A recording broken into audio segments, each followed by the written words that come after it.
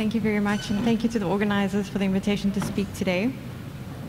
So um, I've split my time, nothing to disclose, first sorry.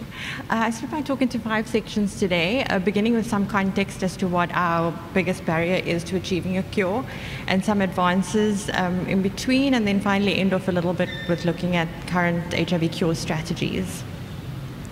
So, our biggest barrier to achieving a cure is what is referred to as the latent HIV reservoir. And this is essentially a pool of cells that are infected with HIV where the HIV's genome is integrated into the cell's genome. And these cells are typically in a resting state where the virus is able to persist uh, in a very stable manner. Um, and predominantly, we see these um, latently infected cells in a pool of CD4 resting memory T cells. Um, and the persistence of these cells necessitates lifelong therapy. If therapy is interrupted, we see that typically most individuals will experience a viral rebound in as little as two months.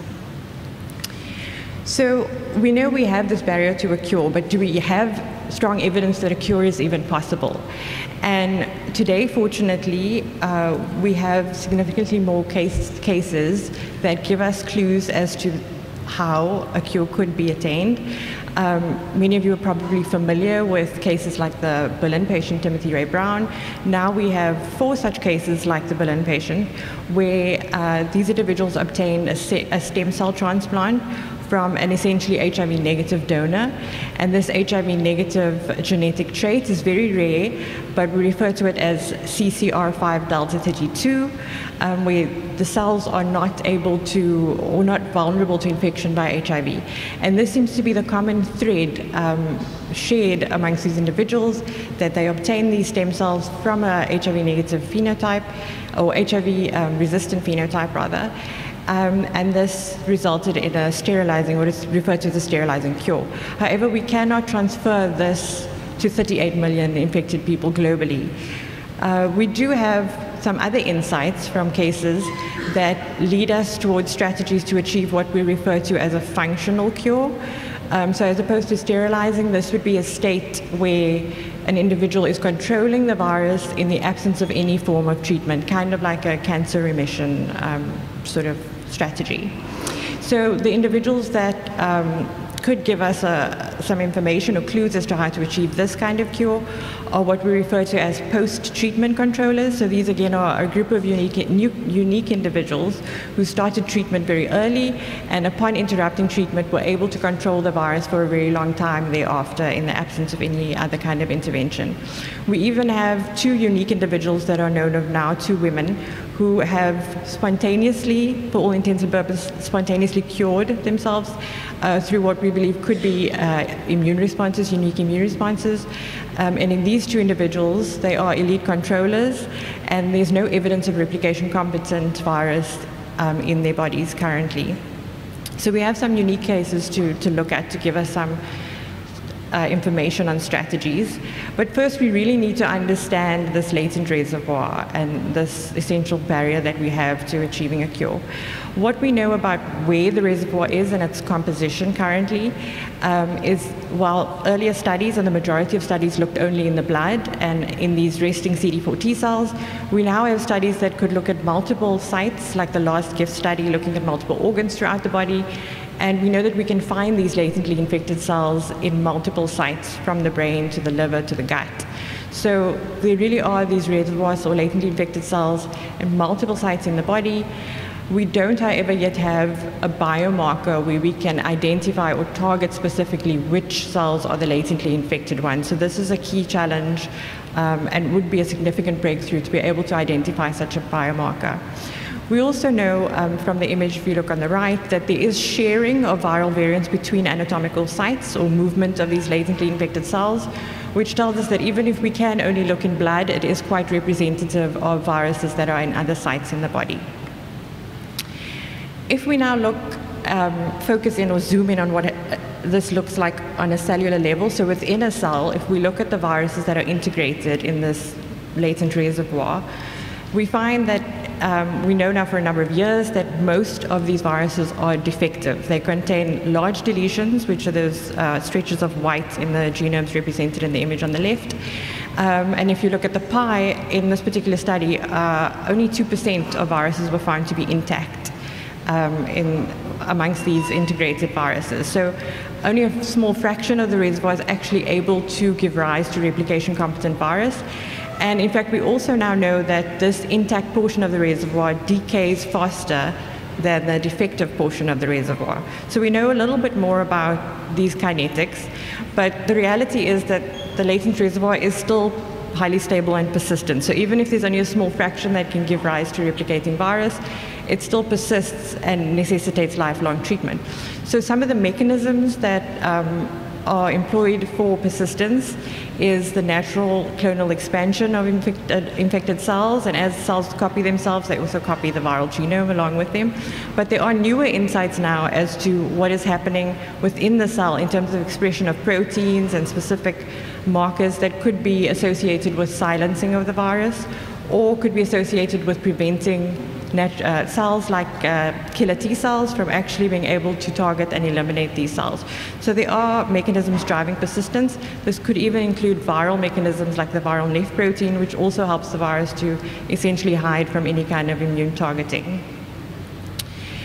So one of the key questions that we've been wanting to answer, and over the last few years, there's a number of studies that now show, in terms of what's in the reservoir, we know that HIV evolves um, extensively throughout the course of untreated infection. And when you look in the reservoir, what kind of distribution of viruses do you see? Do you see an archive or a library of all the viral variants that uh, someone uh, acquired over time? Um, or is it quite static? And what we found is that actually most of the viruses in the long-lived reservoir look like those that are in the blood just before you start your treatment. So these latently infected cells are likely turning over all the time until treatment is initiated, where it could be that the treatment is locking in the reservoir into this silent state for a number of years. And so this leads us to new strategies where perhaps there can be an intervention at the time of starting ART to restrict the reservoir. Oops. Uh, okay. So um, if we want to evaluate whether or not these strategies, uh, cure strategies are effective, we need ways to be able to measure the reservoir. And when I say measure the reservoir, I refer to essentially identifying how many cells contain proviruses, or at best, we'd like to know how many cells are capable of producing replication competent viruses. And now we have a, a range of different technologies that can be used, and they measure on different levels from basically how many uh, copies of the virus are present, we can now tell whether these copies are defective or intact. Um, to being able to sequence the virus genome and determine the integration site of the virus. And many could just tell us how many cells are capable of producing viral proteins or of producing viral outgrowth. Um, however, they all have their drawbacks and benefits. So it's really about deciding what is the best fit for your research question or perhaps using a combination of these to really characterize a particular cohort or, or uh, intervention. I did want to um, briefly just highlight one of the newer technologies that has sort of taken quite a bit of traction in the last few years. This is the intact proviral DNA assay. It is a digital droplet PCR based assay.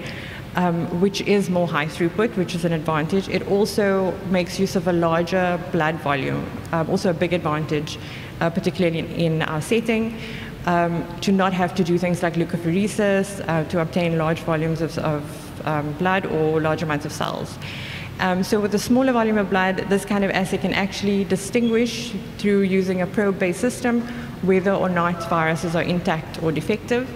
And this particular assay was set up um, on subtype B viruses, but it's now been uh, adapted to an extent so that we can use it in other settings where there are a range of different subtypes um, that are circulating.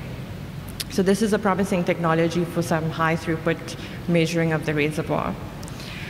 Um, and finally, if we move on to HIV cure strategies, so there are many um, that I don't have time to go into detail um, on today, but this ranges from things like immunotherapies, so that would be the use of like broadly neutralizing antibodies that were um, referred to earlier this morning, um, but typically in combination with another agent like a latency reversing agent. So these latency reversing agents uh, are essentially drugs that are able to activate latently infected cells, although latency is facilitated or controlled on different levels. So there's a range of different latency reversing agents. Um, and these would be used in combination with uh, an immune therapy to try to wipe out cells that are producing virus. Unfortunately, this kind of strategy, which has commonly been referred to as shock and kill or kick and kill, has not been very successful to date. Um, some of the challenges include things like these latency reversing agents are not sufficiently potent or they're not broad enough, they're not sort of waking up enough of the latently infected cells. Um, in addition, if we look on the immunotherapy side, we know that a, a, big challenge with its cure strategies uh, or prevention strategies is um, resistance to things like protein neutralizing antibodies. So we do find that particularly when using one antibody, uh, the barrier to achieving resistance can be quite low depending on which antibody is being used. Um, and so this is an additional challenge to techniques that um, utilize these approaches. Um, in terms of gene therapy, this is one technology that we could sort of link back to the sterilizing cure cases, where one would perhaps try to replicate that scenario where cells are rendered either resistant to HIV infection or those that are already infected um, can be modified through technologies like CRISPR, where a part of the genome is rendered defective and the cell can no longer give rise to replicating virus. Um, in terms of other technologies that um, you might have heard of, it includes also a block and lock strategy, although this is not um, in human clinical trials as yet. But this strategy involves adding an additional drug to put the virus into an even deeper latent state. Um, and the theory behind this is if there's a deeper state of latency, if treatment is interrupted, it would take longer for the virus to rebound. Again, this might need to be used in combination with some kind of gene therapy technology. Um, and finally, it, it, does seem that some of these um, latently infected cells might be harder to kill through CD8 T cell killing. It could be through some of these persistence mechanisms, um, as I mentioned previously. Um, but it is also an additional challenge to some of these cure strategies. So I wanted to just briefly spend a little bit of time on um, two papers, two key papers that have come out recently employing a combination of these modalities to see what effect they have on the reservoir. Um, and so what you see on the, in the images or figures on your left um, is a Swedish study that applied the knowledge that most of the reservoir seems to be made up of viruses from close to when you start your treatment. Um, and so the question here that was uh, being addressed was if you add something else, some other kind of intervention when someone is starting treatment for the first time, can we restrict the pool or the size of that pool of the latently infected cells. And so the modalities that they tried here was to use a broadly neutralizing antibody, uh, 3BNC117, um, which was either just ART plus the antibody or ART plus a latency reversing agent, romidepsin, um, or all three in combination. And they basically measured the effect of this on the number of infected cells as a measure of the size of the reservoir. And what they found is that, not surprisingly, the, latency reversing agent didn't seem to have much of an impact. However, the combination of the BNAB with treatment did decrease the number of infected cells or virus producing cells shortly after the intervention, about a month after the intervention.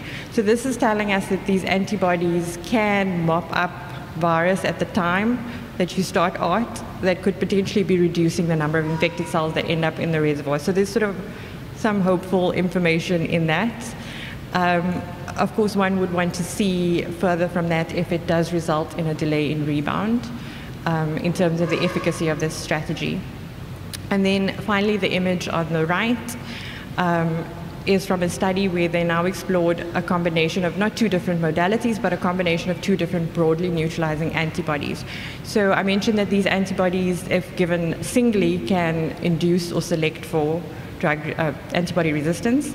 But what if we give a combination of broadly neutralizing antibodies? Does it raise the bar to, to acquiring resistance? And in this particular study, a combination of two BNABs um, was shown to reduce the size of the intact proviral reservoir and we know that that's the one that we really want to target, right? The intact is the, the fraction that can give rise to, to rebound. And so um, when comparing the effect of in individuals who are only given ART, uh, where we, there was no distinction between um, size of the intact proviral reservoir, uh, we see that these BNABs could be having an impact. And so this is something that we do want to explore further. We are starting a, a clinical trial in South Africa that is looking at BNAB combination with ART initiation as well. And so just to sum up, um, we have advanced significantly in our knowledge regarding what the latent reservoir is and characterizing its properties. However, there is still a lot to be done. Even though we have a range of improved technologies, um, we really need to still refine our understanding of things like mechanisms of persistence, how we identify a biomarker so that we can specifically target these latently infected cells. Um, and I don't expect you to look at that um, big table on the side, but this was just to illustrate um, in the most recent review of the key strategies for achieving a cure that there's a lot to do in a lot of different areas and a lot to explore. Um, some of the, the, the, key challenges, other than the biomarker, include um, that HIV being highly adaptable can um, resist certain modalities like immune therapies, and that needs to be overcome. Um, and then finally, as with many other things in HIV um, research, it seems like a combination approach might be the way to go in cure therapies as well. So we cannot just use one modality or one antibody. It's going to have to be a, a combination approach. And so I thank you for your attention and we'll end up there.